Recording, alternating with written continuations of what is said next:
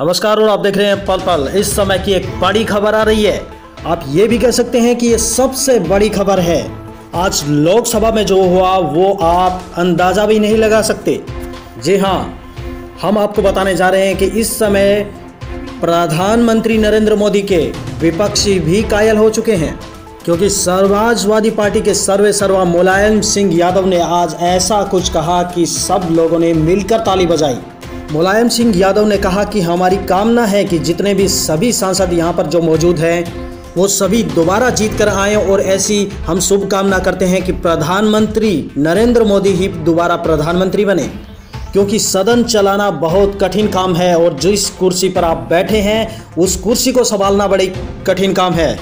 लेकिन प्रधानमंत्री नरेंद्र मोदी ने इसे बड़े बखूबी निभाया है। क्योंकि सदन के सभी सदस्य, सारे सदस्य जो यहाँ पर मौजूद हैं, जो जीत करके आए हैं, वे सारे आपसे संतुष्ट हैं। हालाँकि इनको संतुष्ट करना कठिन काम है और आपने ये काम बखूबी किया है।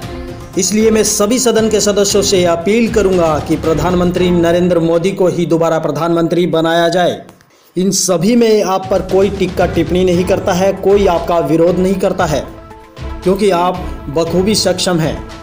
इसलिए मैं प्रधानमंत्री नरेंद्र मोदी जी को बधाई देना चाहता हूँ इसके लिए कि उन्होंने सभी काम मिलजुल करके काम किया है और आज तक उन्होंने कभी भी किसी भी तरह के काम का, अगर किसी ने कहा है तो उसको तुरंत ऑर्डर किया है। सभी के साझे काम पूरे किए हैं, इसलिए मैं उनको बधाई देता हूँ और उनका आदर करता हूँ, सम्मान करता हूँ। जी हाँ ये बात समाजवादी पार्टी के सुप्रीमो मुलायम सिंह यादव ने कही है। हालाँकि उनके बगल में सोनिया गांधी जी भी बैठी थी और जब मुलायम सिंह यादव ने ये बात कही तो उनकी प्रतिक्रिया कुछ भी नहीं थी, लेकिन वे मुलायम सिंह की तरफ़ बार बार देख रही थी। आइए देखते हैं इस वीडियो में कि मुलायम सिंह यादव ने क्या कहा। हमारी कामना है कि जितने अभी हैं सदस्य, वाणी सदस्य जाए यही मेरी कामना है।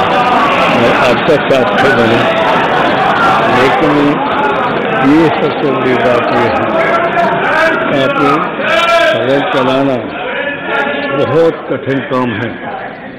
जिस कुर्सी पर बैठे हैं इतने पूरे सदन के नेताओं को सदस्यों को संतुष्ट करना ये बहुत कठिन काम है।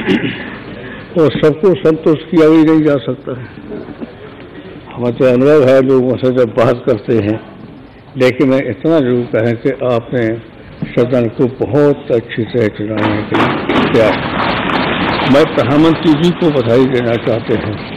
प्रधानमंत्री जी, आपने भी सबसे मिलजुल करके और सबका काम किया ये सही है कि हम जब जब मेरे किसी काम के लिए कहा तो आपने उसी पर ऑर्डर किया। ये मैं आपका यहाँ पर आदर करता हूँ, सम्मान करता हूँ। कि प्रधानमंत्री जी ने सबको लेके चलने का पूरा प्रयास किया। तो आपने जिस तरह सभा को चलाया है और सबको खुश रखना बड़ा कठिन काम है। लेकिन फिर भी आपके के खिलाफ कोई नहीं बोलता है, न आप पर कोई टिप्पणी करता है। इसे विशेष बधाई और धन्यवाद आपको देता है। तो मैं चाहता हूँ, मेरी कामना है कि जितने मानी सदस्य हैं दोबारा फिर जीत गया ये हमारी इच्छा है। तो ये मैं तो ये भी चाहता हूँ, हम लोग तो इतना बहुमत नहीं आ सकते हैं। कारण हमारी कामना है कि जितने अभी हैं सदस्य, वाणी सदा फिर जीत जाए यही मेरी कामना है। मैं आपका साथ बने। लेकिन ये सबसे बड़ी बात यह है। कि सदन चलाना बहुत कठिन काम है।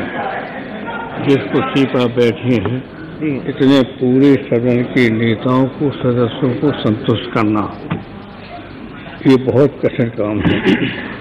और सबको संतुष्ट किया भी नहीं जा सकता हमारा तो अनुभव है लोगों से जब बात करते हैं लेकिन मैं इतना ज़रूर कहें कि आपने सदन को बहुत अच्छी तरह चलाने के लिए किया मैं प्रधानमंत्री जी को बधाई देना चाहते हैं।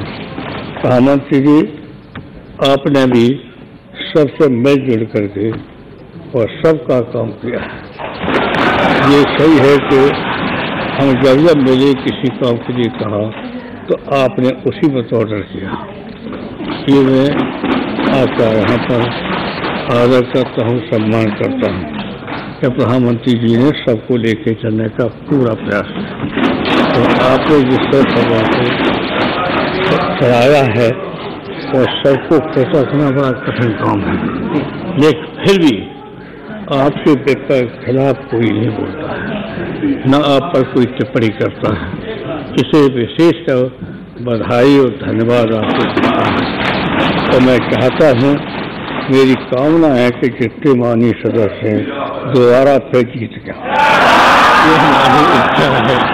तो ये सब और तो ये भी चाहता है, हम लोग इतना तो नहीं आ सकते हैं।